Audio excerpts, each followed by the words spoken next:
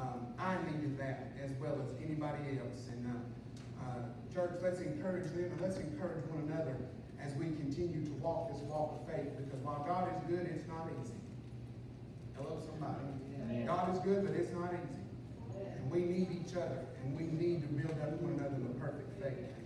I'm, I'm just excited what God's doing. God is fulfilling some things I have been praying for, and um, I'm, I'm looking forward to sharing with you what the Lord has laid on my heart. If you've got your Bible, go to Genesis 41. And uh, I have been recapping the weeks that we've been going through. You know, we're in our series, Destiny's Calling. And that's what the ladder's here for. And uh, we, this is the fifth week, and there's a lot of information in a recap that I, was, I don't want to take time this morning to recap. If you have not been here the past four weeks, I encourage you, go back and watch the videos. But as we've been going through this sermon series, this sermon series is about finding God's purpose for your life. It's about reconnecting and rediscovering why God puts you here on this earth. And we talked about how pursuing our destiny and walking in the call of God is a lot like climbing a ladder. There are rules and there are regulations to climbing a ladder. The same is true for fulfilling and walking in the destiny that God has given you. We've gone through all that. We've gone through uh, how we need to respond. We've gone through the attitude we need to have. And last week we talked about how God has a destiny for you, but God's destiny for you will only be fulfilled in God's time. God has a timetable, and it does not equate your timetable. Your destiny is not about you. That's kind of odd, Brother Drake. It's my destiny. No, it's God's destiny for your life. Okay? It's not about you. We're going to talk about that some more today. And when God is ready to fulfill and ready to bring you into that destiny, it will happen. But before you get there, there's a process you have to go through. There's a waiting time that you have to endure before you receive what God has purposed for your life. Last week we talked about four things, and I will recap these because they are important to our sermon today. That waiting will humble us. Waiting, a time of waiting will help us realize our own limitations and weaknesses. It will help us realize and take us off of our own high horse to realize we don't know what's best for our life. It, it, it, humbles us and helps us to rediscover who's really in charge. The second thing is waiting strengthens us. They who wait upon the Lord shall renew their strength. They shall run and not grow weary. They shall walk and not faint. When we wait on God, while it may seem taxing, God will strengthen us and bring us to where we can rise above the trials. He won't bring us out of them all the time, but He will help us rise above and become victorious over the trials we endure. The third thing is waiting frees us. It frees us from the responsibility to make everything work.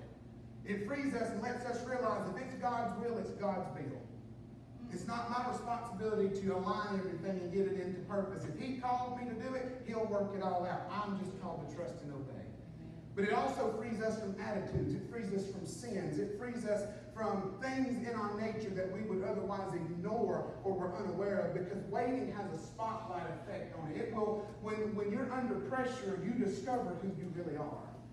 Because you discover things in you that you would not have otherwise realized if you were in a season of blessing.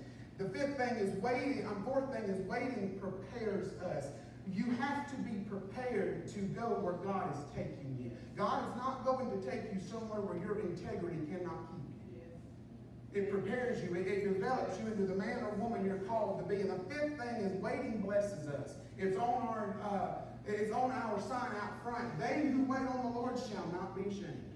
Your waiting is not wasted. God will reward those who wait. Even in times of difficulty, God will bless those who trust and wait on His time. This week, we're going to continue sort of in that vein of timing and going to look at how we need to respond and how some things that need to happen as we approach the destiny God has for us. I want to ask you a question, and, I, and be honest. How many of you in here have a bucket list? Okay, bucket list. I, I, I have one. Okay, this this term it's been around for a little while, but this term uh, became popular back in 2007 with the uh, with the film The Bucket List with Jack Nicholson and Morgan Freeman. If you've never seen it, it's a really good movie. It's sad, but it's good. And the whole gist of the movie is there's these two men in their elderly years, and they're both diagnosed with terminal cancer. And so they sit down and they start discussing and collaborating ideas, and they make a list of things they want to do before they kick the bucket. And their whole, their whole motivation was they did not want their lives to end in regret. There were so many things that they wanted to see and wanted to do that they got so caught up in life that they forgot about it, that now that they're closer to death, they wanted to do it. So they would not end their life saying they didn't get to complete something.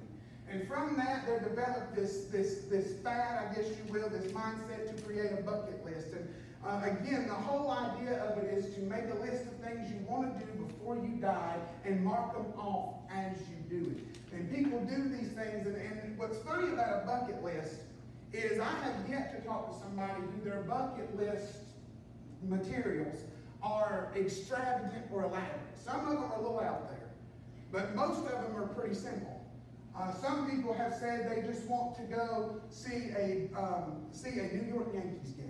Never gotten to go see the New York Yankees. Some people will say that they want to just go and uh, they, they want to they want to see one of the seven wonders of the world, or uh, they want to um, they want to drive a race car, or they, they, they want to go and they want to experience these things.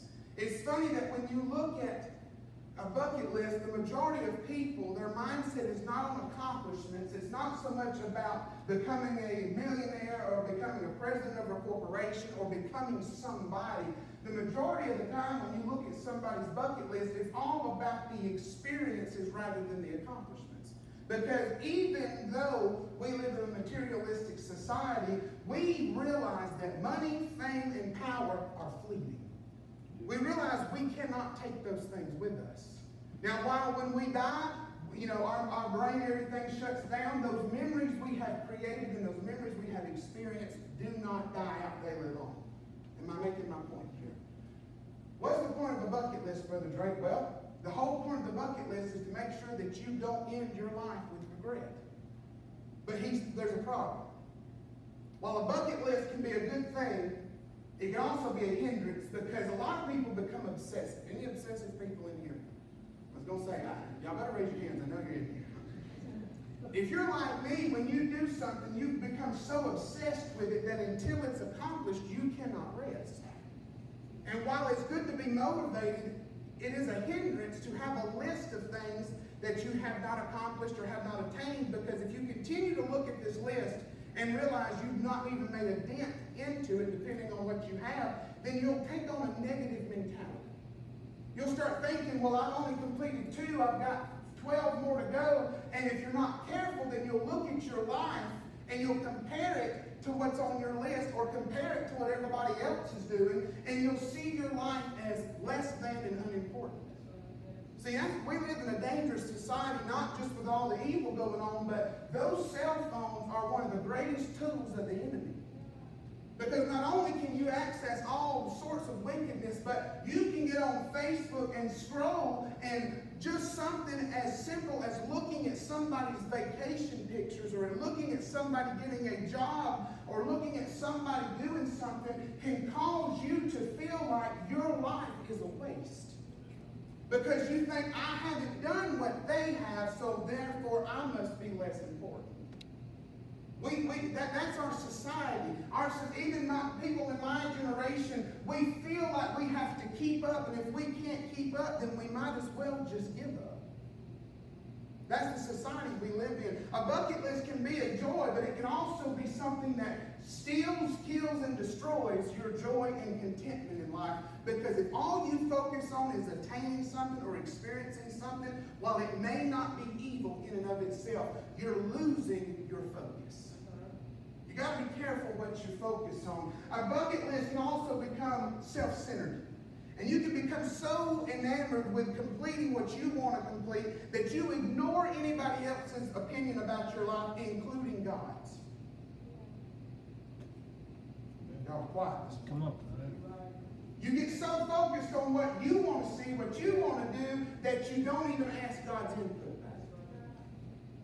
I told Sister Teresa this morning that this whole series, I don't know if anybody else is getting anything out of this, but I sure am. And I guess it's because five days a week I'm pouring over this and God's dealing with me as before he deals with you. But as I've started going through this sermon series and looking through things, I've started reassessing my own destiny. And Misty, I started, I started, I was telling Teresa this morning, I have started questioning a lot of things in my own life. Questioning, am I, you know, am I truly walking in God's purpose for my life? Making sure that I'm doing exactly what He's called me to do. Not just in my vocation or my, my ministry here, but in my day-to-day life. Am I, am I fulfilling what He wants me to do? Susan, I've asked the questions, you know, are the things that I want to attain, are they really pleasing to God? Are they really what He wants from my life? Because let me tell you this, I want to make this point. Just because it's important to you does not mean it's important to God. Just because you see it as something that has to happen does not mean from the eternal perspective of God that it is important according to your destiny. He may not give you that job that you so want because he realizes it's not a good situation for you to go into. He may not give you that person you've been praying to get married to because he realizes they're not the one that he's destined for you to marry. He's not going to let you go through these things because he sees it from a broader perspective than what you see it. Just because you think you've got to do it doesn't mean that God agrees. Hello, somebody. And so I started thinking about this and I started reassessing my own bucket list and thinking, you know, these aren't necessarily evil, they're not necessarily bad, but you know, I can't focus so much on things because things have never and will never be my destiny. Accomplishments and attaining things are not necessarily what God has called me to do. Because I've already said it, it's not about me becoming somebody. It's about His will being fulfilled. If that means Drake is preaching at a one shot, a one door shotgun church in the middle of nowhere, then that's where Drake's going to be. If that means, which, Lord, if so, prepare me. If that means Drake and Taylor going to help the less fortunate in Uganda, then let Drake be there. But Drake's going to have to accumulate to Africa before that happens. Okay? I know you're down. I mean, you're more spiritual than I am. But anyway, am I making my point? My point is, while you can have goals and you can have things you want to do, you cannot get so fixated on that that that becomes your destiny. Because I said it last week, if not the week before, you can aspire to your own goals and your own destiny, and you'll get to the top only to find you're still unfulfilled. Because you did not go where God wanted you to go. Only through His will will you find joy, peace, and contentment in your life. So I started reassessing my own bucket list, and I, and this may sound cliche, but it's true. And I can honestly say my bucket list is three things. Whatever God says, wherever God says, whenever God says. Period. Whatever He wants for my life, whenever He says it's time, however He wants to do it. That's it. Because I'm going to fail if I do it my own way. I want it to be whatever He says, wherever He says, whenever because if we're not careful, we'll get so caught up in living that we'll forget to prepare for eternity. The biggest regret you'll have is living this life and not preparing for eternity. Because that's forever. You can have all the riches you want to in this life, and you can be somebody. But can I tell you, there are billionaires who today are in hell who had wished they had done things differently. There are people, there are, there are people who were the most famous in the world who have gone on to their eternal, their, their eternity, and they themselves are in a pit somewhere saying, I wish I would have gotten right with God. Don't get so caught up in living here that you miss the destiny he has for you because if you get so caught up in what you want, it would be a shame for you to sit in this church or in a church Sunday by Sunday, Wednesday by Wednesday, and get to the judgment and, him, and hear him say, Depart from me, I never knew you. Because only those who do his will belong to him. I say all that to say, we have to be mindful of God's direction for our life. We have to be in tune with what He's saying because as long as we are doing our best to follow His will, then we will have what we need. Seek ye first the kingdom of God, and then He'll add all these things unto you. Am I making sense this morning? We, that's why it's important that we've got to obey and do what He calls us to do because if we get out of His will, we're going to be frustrated. We're going to be unfulfilled. But when we stay in His will and we are mindful of what He says and what He wants, then we'll have joy. Then we'll have peace. Then we will begin to elevate to the destiny and the purpose that He has for our. Joseph, we've been talking about him for five weeks, and he is one of the perfect examples of this kind of mentality. Because Joseph's life, as we know from the very time we're introduced to him to the very end of his story in Genesis 51, I think it is, Joseph did not have an easy journey. Now, God called Joseph to some great things. You know the dreams. I'm not going to rehash those. And his brothers were jealous of him. They hated him. And you know that his life was just full of disappointments, setbacks, and questions. And as we progress through this, there's a lot of things he went through that would have made a lot of us give up, if we're being honest. A lot of us would have been done as soon as we got thrown into the pit. As soon as we got lied on by Potiphar's sleazy wife, we would have been done. But not Joseph. Joseph kept on because Joseph was in tune enough with the purpose and will of God that no matter what happened to his life, he kept himself in such a way that even in the midst of setbacks, he was in the divine will of God. And because he stayed patient, because he waited it out, God eventually elevated him to the place he was destined to be. Now, we're going to be in Genesis 41, but I got to give a little backstory. Last time we were seeing Joseph, he was in prison and he interpreted the baker and the butler's dream. And all he asked was that when you are, when, when you're restored, please remember. me. Y'all remember that? But then the butler forgets. Again, Joseph is forgotten. So two more years he's sitting in the dungeon. Two more years, 17,000 something more hours, 729 something days, however many weeks, he just keeps waiting. Minute by minute, year by year, moment by moment. And Joseph has nobody around him to encourage him.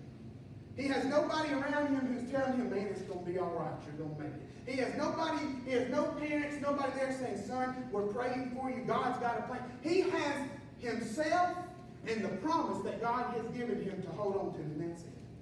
All he's got is what God has said, and that's the only hope he has. But can I go ahead and tell you that's all he needs? Can I tell you all you need? Oh, I feel God.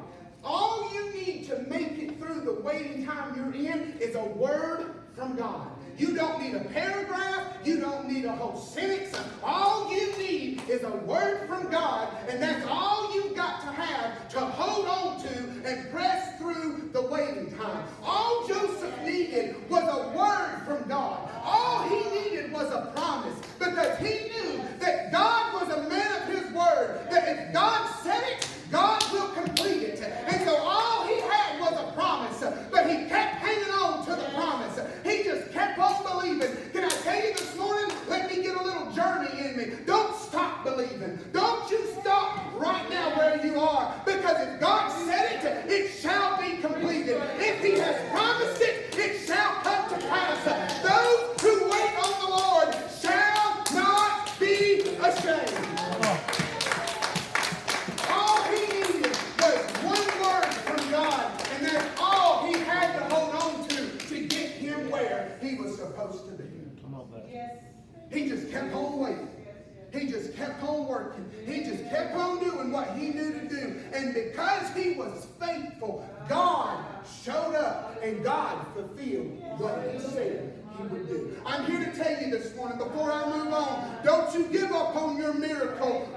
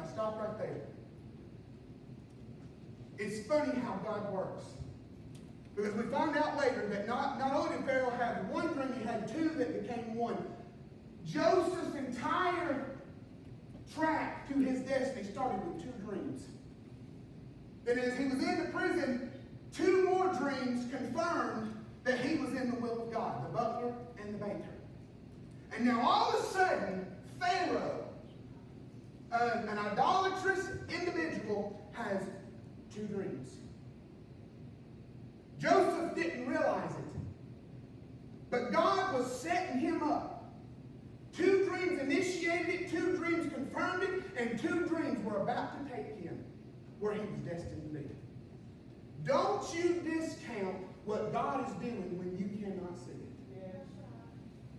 At the end of two full years, it came to pass that Pharaoh had a dream. This is lengthy, but let's read it. And behold, he stood by a river. Suddenly there came up out of the river seven cows, fine looking and fat, and they fed the meadow. Then behold, seven other cows came up after them out of the river, ugly and gaunt, and stood by the other cows on the river bank. And the ugly and gaunt cows ate up the seven fine looking fat cows. So Pharaoh awoke. He slept and dreamed a second time, and suddenly seven heads of grain came up on one stalk, pumping good. Then behold, seven thin heads, blighted by the east wind, sprang up after them and seven thin heads devoured the seven plump and full heads. So Pharaoh awoke, and indeed it was a dream. Now it came to pass in the morning that his spirit was troubled, and he sent and called for all the magicians of Egypt and all its wise men. Pharaoh told them his dream. But there was no one who could interpret it for Pharaoh. Then the chief butler spoke to the Pharaoh, saying, I remember. Hmm. I got to stop right there and say, you may have felt forgotten. You may have felt overlooked.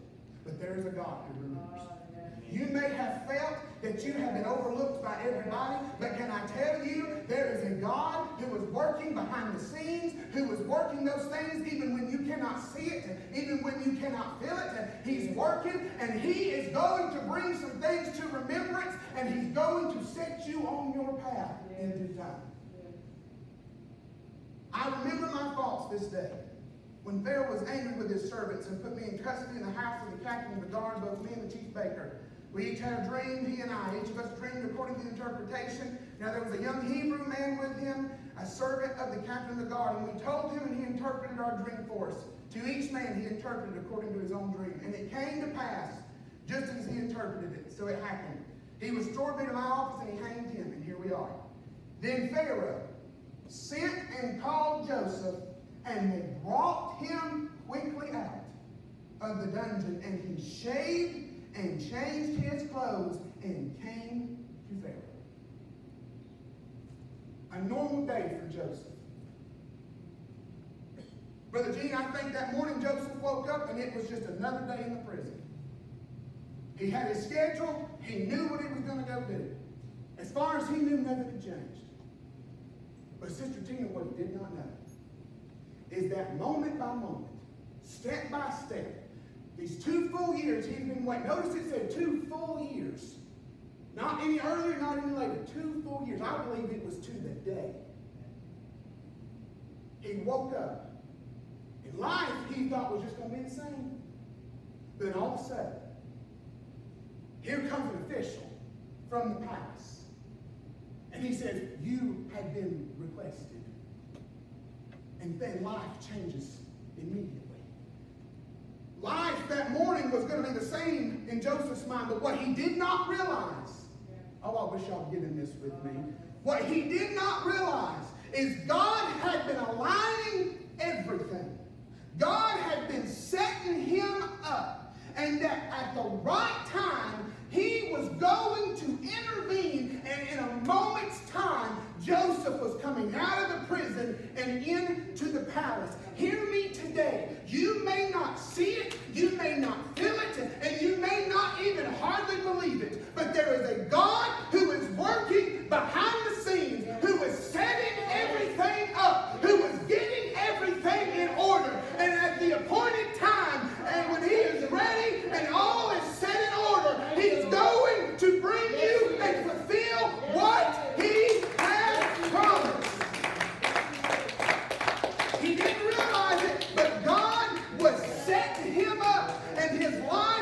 about to change. The reason I told you not to give up is because this very day could be the fullness of time and your miracle can happen today. That son or that daughter could call today. That job opening can come today. Don't give up because today could be the day that the timing is full and God says, it's time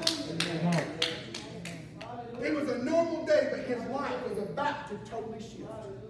And he says they brought him quickly. Everybody say quickly. Quickly. They brought him quickly out of the dungeon.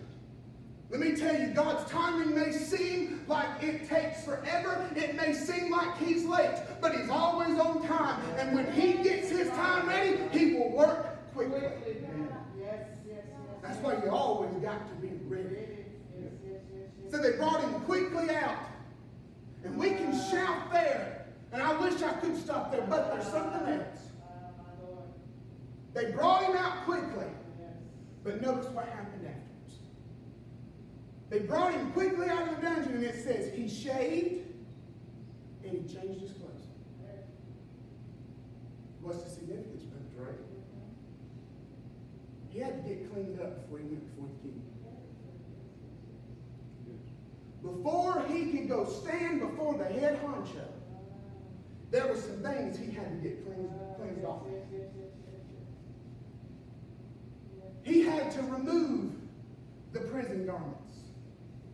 He had to wash his hair and get the stink of the dungeon off of him before he went before the highest official. Because if he went before him with an unshaved face and dirty clothes, it would have been an abomination to Pharaoh and he could have been thrown out and never had the opportunity to interpret the dream.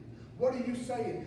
As we approach our destiny, there's a cleansing process we must go through. Yes, yes, yes, yes. See, one of the problems, Yes. this has got to come off. yes, yes, yes. Tired of that Yes, restricting yes, thing. yes, yes, yes. The problem is, and I don't have my, my illustrations, but that's fine. It's easy to climb when I've got my hands free. It's easy to climb when I have nothing attached. But if I start adding tool belts, and I start adding uh, jackets, and I start adding all this extra weight, I start adding these things hanging off of me that's making my hands not free, it's going to be hard to climb. See, you can't climb while still trying to hang on to certain things. The reason a lot of us are having problems excelling and moving up toward the place God wants us to be is because we're still trying to hang on to the dirt and the filth of the world. I'm going to preach it whether you want me to or not. There's a lot of us in here who we're trying to get closer to God. We're trying to excel up to where He is. But don't you realize that filth and worldliness cannot stand before the King of Kings and the Lord of Lords? When we approach the destiny that God has for our life, we've got to get cleaned up. Yes. We've got to change those old clothes of worldliness and unrighteousness and put on the garments of the new believer. We've got to shed those habits and, those things. See, let me tell you, I spent years trying to get close to God with an addiction to pornography. You may not know my testimony, but for eight years I tried and I couldn't break it. I never could get my mind fixated around it. And finally, one day it broke. And can I tell you, the day it broke was the day I went another step higher. You cannot draw closer to the heavenly reward of what He wants you for if you're hanging on to sins, habits, and the past. See, we will shout and get all excited when we talk about ridding ourselves of sin, but when it comes to let go of the past, we get all offended. But can I tell you, the past is one of the greatest hindrances to our progression. Holding on to things that a ex-spouse did to us. Or holding on to things that so-and-so said and did. Oh, we, we know we gotta we gotta get our hearts pure, but when it comes to letting go of things in the past, my brother Frank, you, you just don't understand. You don't know what me. You know what I went through. You don't know the struggle. Sister, brother, I know. I may not know. But what I can tell you is you will not get any further hanging on to it. I'm not trying to belittle it, but this is going to set somebody free. It's time to let it go. It's time to let it go. It's time to build you a bridge, get over it, and then burn the bridge. It's time to quit dwelling on all the pain, quit dwelling on the hurt, Quit dwelling on what they said. Quit dwelling on what they did. Because the thing is, you're holding nobody captive but yourself. You're not hurting anybody but yourself. And you are your own worst enemy if you keep hanging on to what happened 20, 30, 50 years ago. It's time to become a mature believer in Jesus Christ and make up your mind I'm not going to be stopped. I'm not going to be hindered. I'm going to step over this and I'm going higher in Jesus Christ. Joseph could not move up to the step God had for him until he got cleaned up first. He had to transform his whole appearance. If you read, you'll read right, right over it. And if you don't know the symbolism, you'll miss it. But to shave in the, in the Egyptian culture, a beard was a sign of mourning. Egyptians were always clean shaven. Those little beards you see them with in the pictures, those were fake. It was just a symbol of, of whatever they had. But, but scruff anything was an abomination because that meant you were in mourning. You had a, you had a mental state of depression, is what it meant in the Egyptian culture. And clothing all throughout the Bible represents your identity. Joseph was identified as a prisoner because of his appearance. But notice that his entire appearance changed when he stood before Pharaoh. To, in order to stand before God and reach our destiny, we've got to be transformed. Mind, soul, and body. We've got to let go of some mentalities. We've got to let go of some attitudes. We've got to let go of some things and allow ourselves to be transformed. Joseph was moving on from the prison. He was no longer a prisoner. That step was over, but he had to get cleaned up first. There's some of you here today, you've got to go through a cleansing, and until you do, you're not. You've got to let go of some sins, let go of some habits, let go of some attitudes, let go of the past. Hebrews 12 and 2, laying aside the weight and the sin that so easily beset us. You cannot run this race while having, while having chains on your ankles. Can't do it. To approach the destiny, you've got to be cleaned up first. So Joseph was brought out quickly, but not, he did not reach the place until he got cleaned up. You'll reach the place when you allow those things to be washed away. So he approaches Pharaoh, and I'm going to try to hurry here. And he, as he comes before Pharaoh, Pharaoh looks at him and he says, I've had a dream. Nobody else can interpret it. But then he says, I've heard it said of you. Let me stop right there. What could people say of you today? Joseph was a prisoner. Prisoner. Pharaoh, what I love about this, Pharaoh, the highest authority in the land, when it come, he was so desperate to get this dream interpreted, he looked past all of the other officials and went to the lowest person in his kingdom, a prisoner. I wrote this in my notes, and I have to say this. Pharaoh overlooked those who were overlooking Joseph. The most overlooked man became finally became the most sought after man in the kingdom. The lowest man on the totem pole became the most important person to Pharaoh because he had a gift. Because even in the prison, Howard, he had a reputation.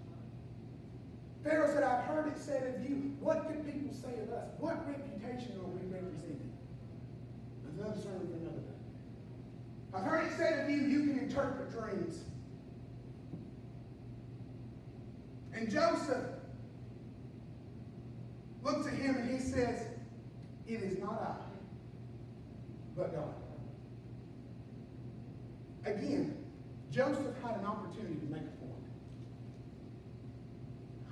He could have said, Yeah, it was me. I interpreted that dream and it was right. Go ahead, give me your best shot.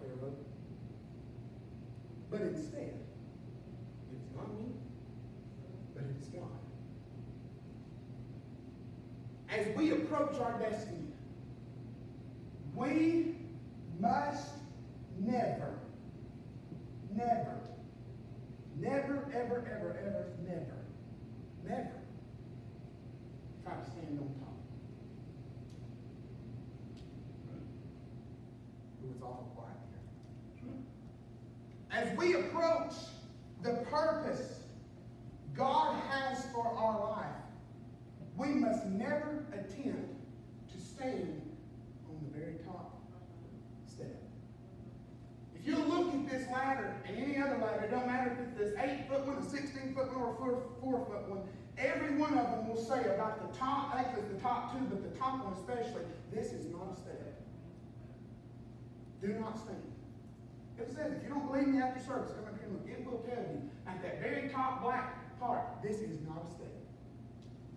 Ladder safety rules will tell you that you have gone too high if you no longer have anything to hold on to, or get this, your knees have no place to rest. That's a revelation. You know you've gone too high when your knees have no place to rest. I'm going to make this point right here because I have to. If you're wondering if you become prideful in your life, are you too good to kneel before God? Okay, you didn't, you didn't show that. Okay, I'll move on. That's fine. Somebody got it. The top was not meant for you to stand on.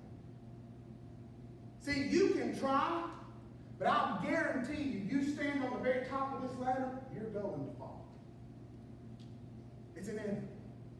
Because if it's not a step, they meant it's not a step.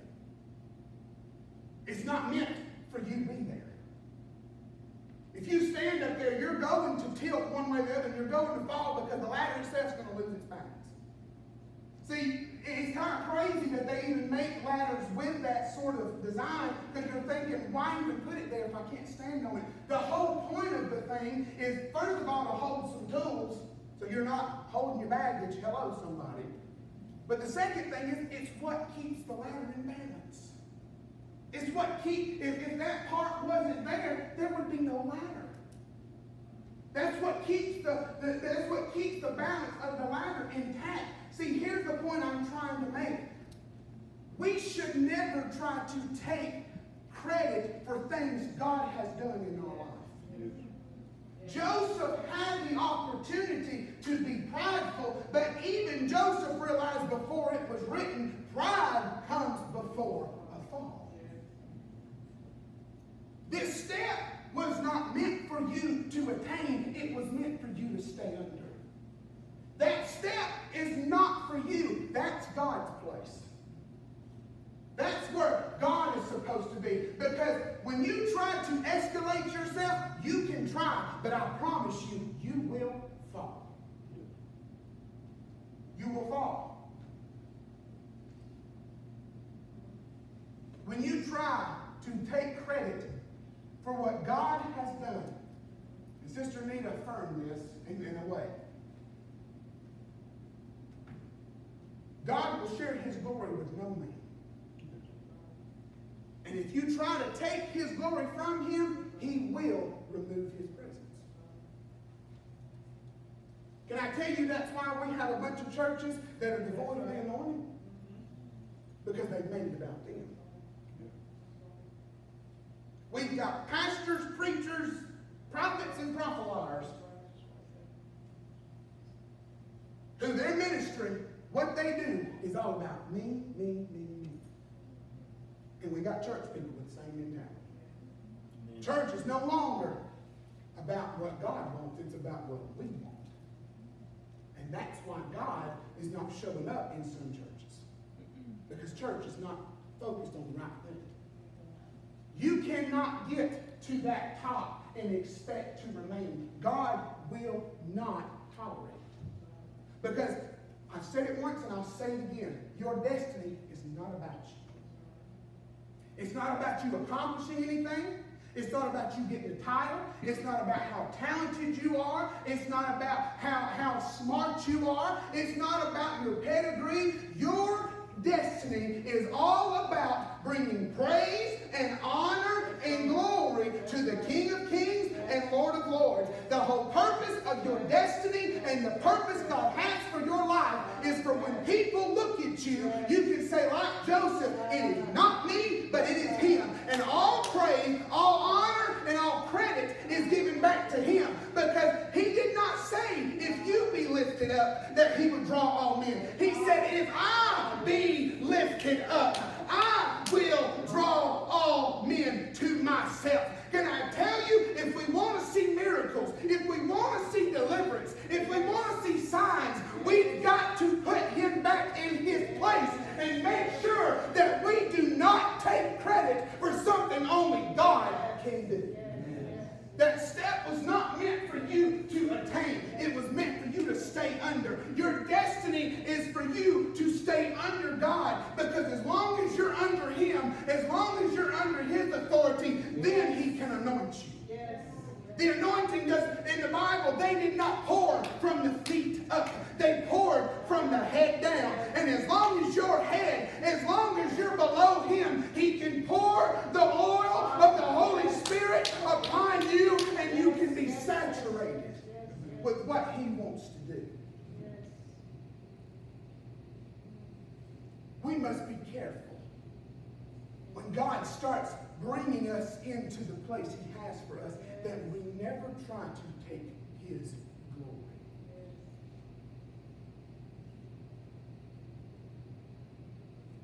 Without him, I am nothing. But with him, I have no limits. Without him, I am inadequate. I have no power in and of myself, man. I can't do it. Sister King, I cannot walk this walk of life without him. I'm nothing but with his anointing. I can't heal a fly of a headache, but with his anointing. I couldn't, I, I, I could not even begin to try and, and pray over somebody who's been dead, but with his anointing. Without him, I'm nothing. But with him, I have no limits. The story progresses, and I'm not going to read it all because I know we're pressed for time. I'm hurrying. Pharaoh gives him the dream. And he, and he starts telling all that happens. And, and Joseph tells him, he says, all right, here's, here's what they mean. He tells him seven, you know, seven good cows or seven years of plenty. The seven good heads of wheat or seven years of plenty. But the, the blighted wheat and the, the, the gaunt cow, that's seven years of famine. He said, the famine, there's going to be seven years of enough. But there's going to be seven years of nothing. And he said, you've got to prepare those seven years of good in order to survive the seven years of life. Because if you don't, people will forget the good years. One thing I think we've got a problem is we've forgotten the good years. Hello? And as Joseph has given him all this information, Pharaoh is amazed. And you go on and you read in verse 40 and through verse 46, and it says that, that Pharaoh looked at his men and said, There's nobody here that has the Spirit of God like this man. And it says that he promoted Joseph to number two in the land. Number two, from in, in an instant, Joseph went from the prison to the palace. Pharaoh put him, it, it says three times, I underlined it, that he put him over all the land of Egypt. He said, You are over everybody except me. There's that head part again. You have authority. Nobody even moves their leg, one translation says, unless you give them the say so. And Pharaoh took his ring off and put it on his hand, which was a symbol of him transferring authority. In an instant, Pharaoh promoted Joseph from the lowest of low to the number two man in the nation. In a moment's time, Amber, Joseph went from the dungeon to the palace. From a prisoner, Misty, to prime minister. I've said it, I'm going to keep on saying it. God can promote you and bring about your promise and fulfill what he's promised like that. When you keep trusting him, when you keep abiding by his word, when you stay faithful to what he has called you to do, even when you don't understand it, he can take you from being the underdog to the number one pick. I thought about Tyler the entire time I was writing this sermon. Because, Jeff, let me tell you, I know there's things going on and we're all praying and we don't understand it. But there's a plan that we cannot see. Amen. There's a plan. I don't know, and I'm sorry to point Tyler out like that, but I, I felt like I had to say that. I don't know where God's going to take the joiner boy. But what I can tell you is that at the end of his life, however it plays out, God's going to get the glory for it, regardless of how the situation plays. Because when you're faithful and you don't associate with the junk of this world and you don't participate in all the mess of sin, God will promote you and He will bring you to the place of His fulfilled will. Come on. Yes. The promotion to your destiny can happen in a moment's time. He can take you from a nobody to a somebody. It don't matter who's overlooked you, who you felt ignored by. God knows where you're at. He remembers you, and He still has a plan. Yes. But here's the part that we don't like. We want the promotion, but here's a fact that I've got to point out before I close. We like to stop there. Joseph went from the prison to the palace. Hallelujah! And that's where the sermon ends. But Joseph would never been promoted if he hadn't to Egypt.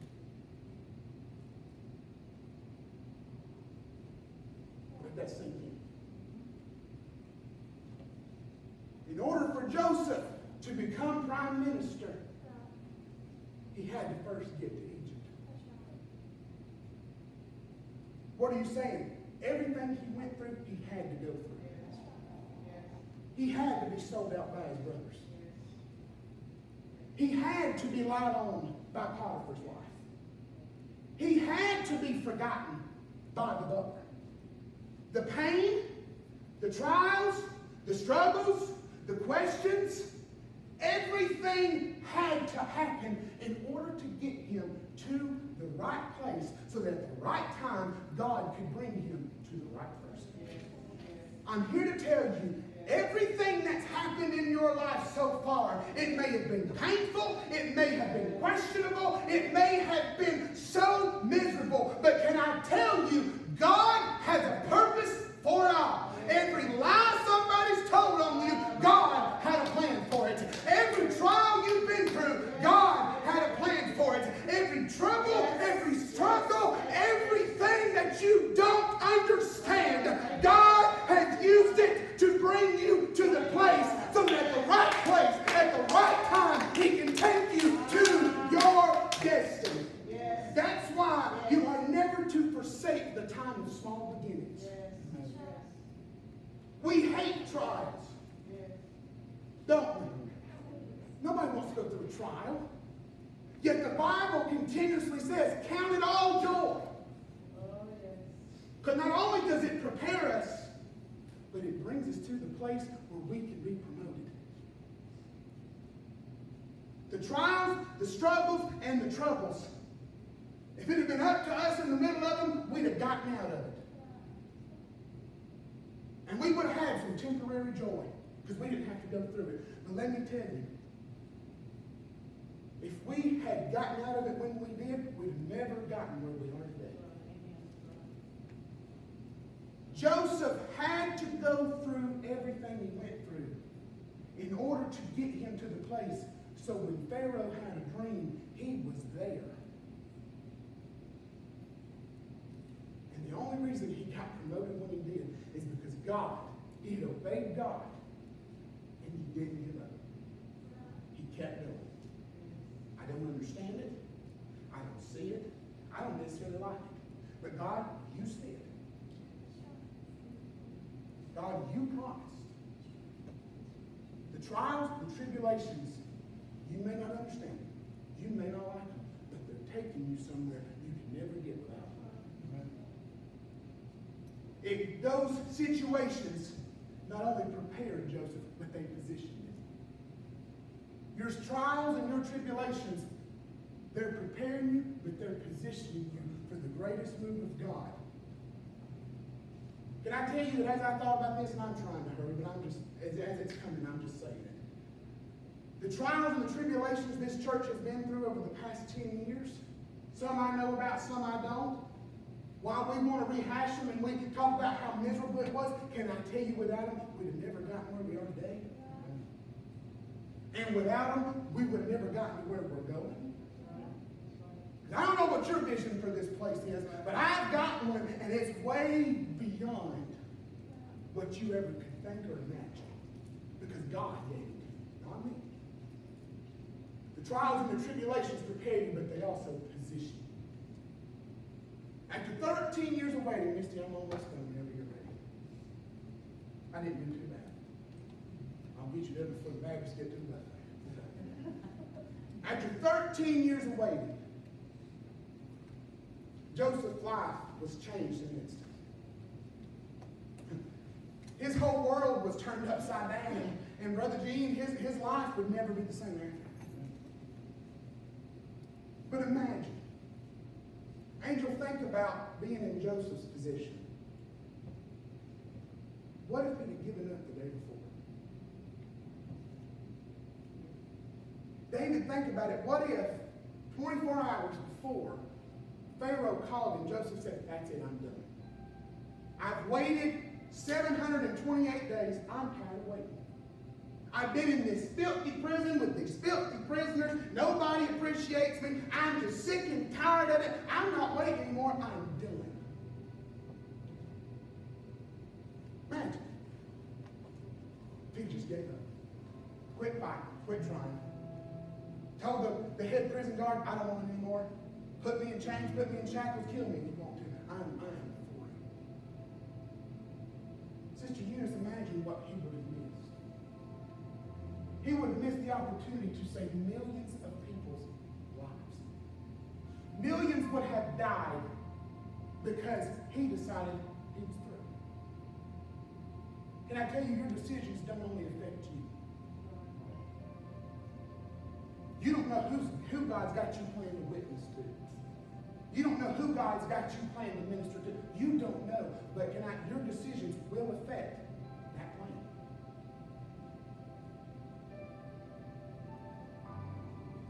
He would have missed the opportunity and thousands, millions would have starved. But Miss Gloria, he would have missed out on the opportunity to be reconciled with his family. His father would have lived the rest of his life thinking Joseph's dead. He would have totally missed the plan of God if the day before he said, I'm free. But because he did, because he was persistent, because he stayed faithful, God, and we'll talk about this last next week, God took everything. The psalm said this morning, God took everything that the world and the enemy meant for evil, and he turned it.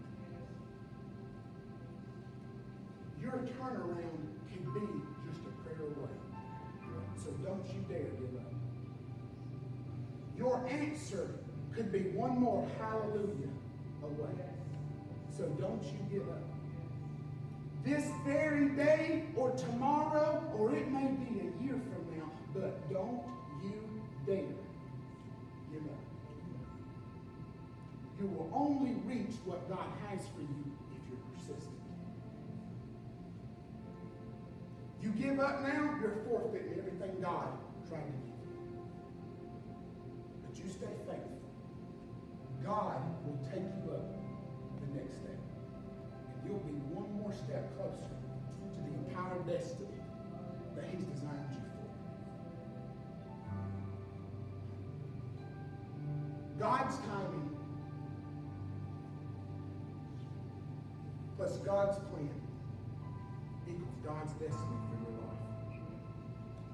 God's timing plus God's plan equals God's destiny.